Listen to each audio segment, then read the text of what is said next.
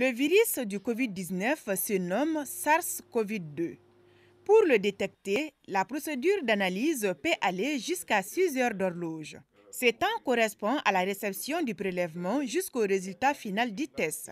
Nous sommes au laboratoire du Centre d'infectiologie Charles Murier, une structure qui a une capacité d'analyse de 160 tests par jour.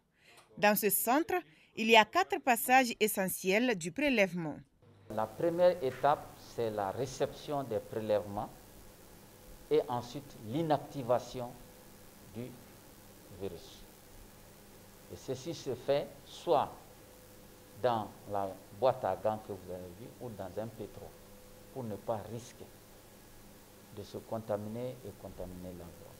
Après cette étape d'inactivation, nous avons la seconde étape qui consiste à extraire l'ARN du virus, qui est le matériel génétique du virus, qui nous intéresse parce que le test que nous avons, on appelle ça un test moléculaire. La dernière étape s'est faite dans la salle d'amplification. C'est ici que le résultat final du test est donné par les chercheurs. Le mélange réactionnel est mis ici et l'ARN qui est extrait pour chaque, chaque tube ici correspond à un patient. Et nous avons une façon pour ne pas nous tromper, parce que jusque-là, on travaille avec les numéros. Les tubes portent les numéros des patients. Arrivé ici, vous comprendrez qu'on ne peut pas travailler, euh, écrire là ici pour ne pas nous tromper.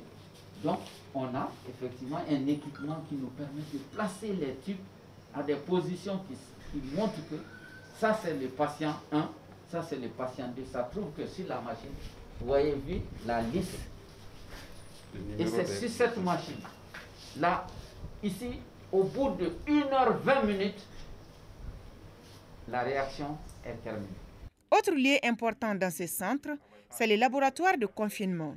Cette salle permet de protéger non seulement le personnel, mais aussi l'environnement. Ce labo est vraiment hautement sécurisé. Ici, le rôle même de ce labo, c'est double. Le premier, c'est de pouvoir protéger la personne qui travaille à l'intérieur. Puisqu'on travaille avec des pathogènes très très dangereux, il faut que la personne qui travaille à l'intérieur soit en très bonne sécurité. Dans le labo, il y a des dispositifs pour pouvoir le protéger. Le second aspect, c'est la protection de l'environnement. Puisque c'est des virus, des bactéries qui vont être très très dangereux pour l'environnement. Pour ne pas contaminer l'environnement, ce système comporte des filtres, on appelle des filtres étangs. Donc c'est des filtres de très haut niveau qui sont capables de filtrer des particules très très très fines. Donc tout ce qui rentre à l'intérieur comme substance dangereuse va rester ici. Donc c'est pour ça qu'on appelle laboratoire de confinement.